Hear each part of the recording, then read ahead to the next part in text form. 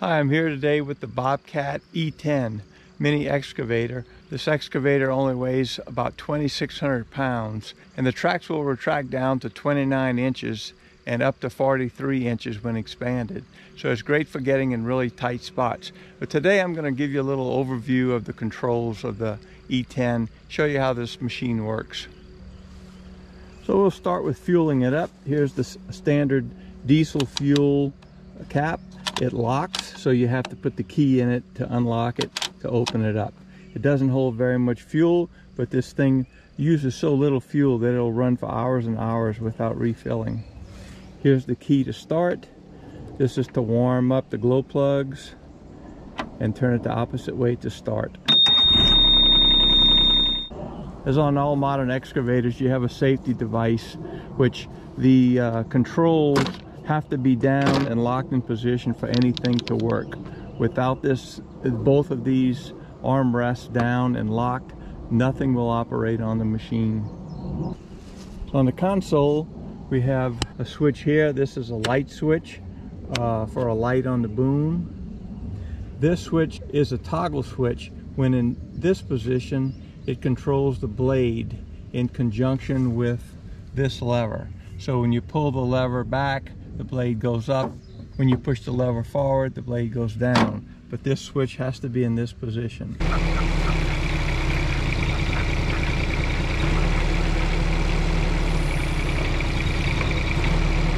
When the switch is in this position, now this lever controls the tracks, the retracting and expansion of the tracks. I've done a whole nother video on how to expand and retract the tracks on this machine. So if you look on my channel, you'll find that. Getting back to the console, we have the fuel gauge and some trouble lights, oil pressure, water temperature, battery, etc. This little yellow button on this stick here is uh, for the two speeds of the drive motor. So you use the normal drive when you're tracking and working. But when you're tracking to another location, you press this button and you go a little bit faster. It tells you how many hours that you've run the machine.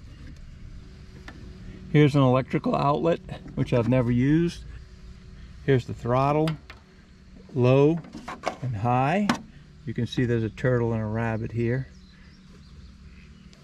These two levers are for tracking so when you push both of them towards the blade, it'll track towards the blade. When you pull them back, it will go opposite of the blade.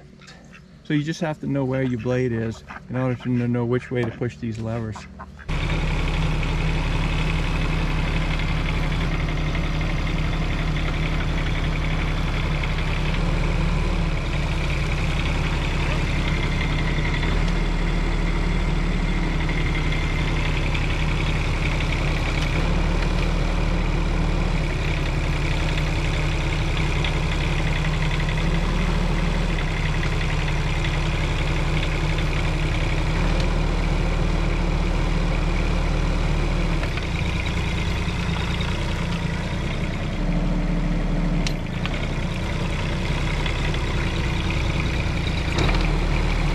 The lever on the right side controls two things. It controls the stick and it controls the curl of the bucket. So when you pull the stick back, it crowds the stick in. So it brings the stick towards you.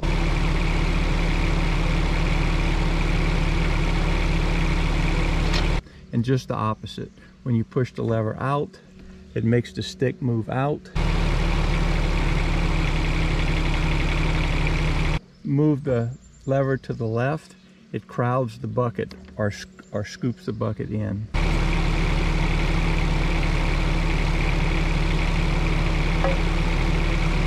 And when you move it to the right, it makes the bucket dump.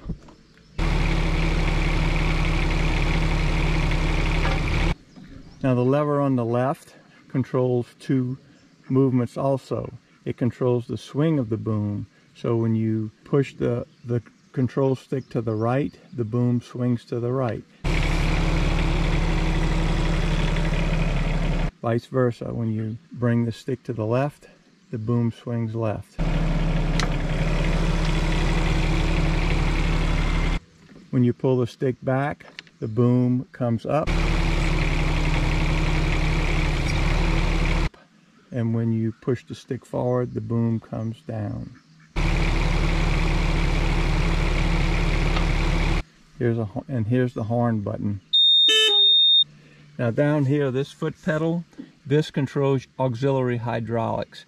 So in this case, I have a hydraulic thumb. So when I pull it back, it opens up. And when I push it forward, it closes the thumb.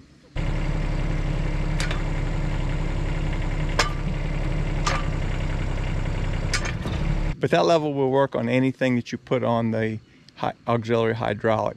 You can put an auger or a, a jackhammer or anything like that.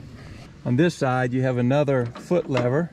When you move this lever to the right, it makes the boom not swing right, but rotate right. So the carriage doesn't move, but the boom will move to the right.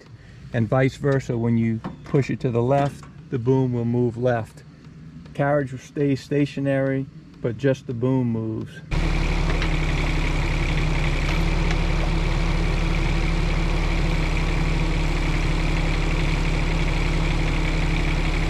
That comes in really handy when you're working very close to like a house and you, you need to dig something really close to house and you want to work parallel to the house. Another feature is this little switch right here, a little lever when you push this lever down, it locks the, the boom in place.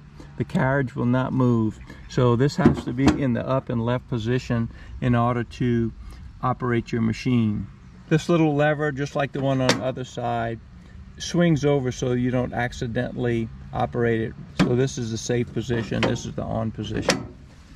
This auxiliary hydraulic foot pedal also swings up.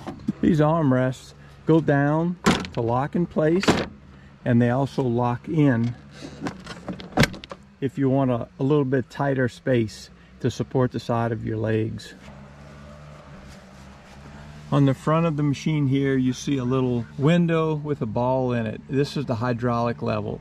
So when the boom is in a certain position, when everything is closed and curled, then this little ball should be floating right in the middle of the window. You have to look at the owner's manual for that is pretty complicated. You have to get the boom in exactly the right place for it to be accurate.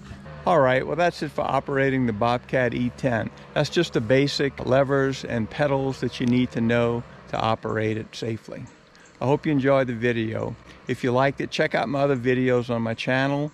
And if you like it, give me a thumbs up and leave a comment. I like to hear uh, your questions and your comments. So hope to see you next time.